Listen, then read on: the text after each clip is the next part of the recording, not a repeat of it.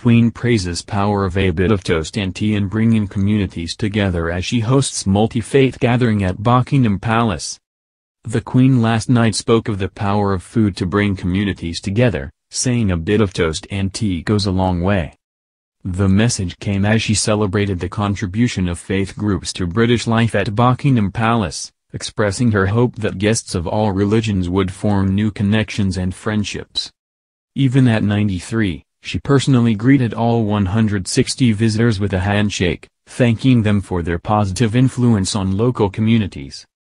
Among the guests was Nayat Khan, who featured in the Daily Mail on Monday, who was thanked for her work at London-based New Vision for Women which invites women from diverse communities to meet over food and discuss their problems.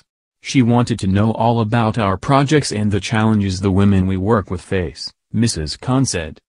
The Queen then spoke of the work of another guest, Anna Dyson, a Jewish mother who runs a social enterprise cafe in Leeds called Toast Love Coffee. Mrs. Khan said of the Queen, she said a bit of tea and toast can go a long way. It's very British isn't it? The Queen then told guests she hoped new connections had been made, saying, I can hear all the talking. I hope it's going well. Kate Middleton is now the patron of the Royal Photographic Society, Kensington Palace announced today. The role was previously held by the Queen for 67 years before she passed down the responsibility to the Duchess of Cambridge. Kate will celebrate the new gig with a visit to a photography workshop run by the Photo Society and Action for Children, another one of her royal patronages. The Duchess has a long-standing interest in photography, and this patronage will further highlight the beneficial impact that art and creativity can have on emotional well-being, particularly for children and young people, a press release from the palace reads.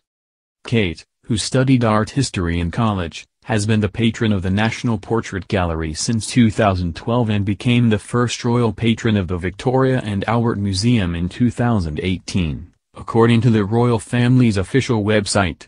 She's also known to take the official portraits of her children, Prince George, 5, Princess Charlotte, 4, and Prince Louis, 1, which are usually released on their birthdays.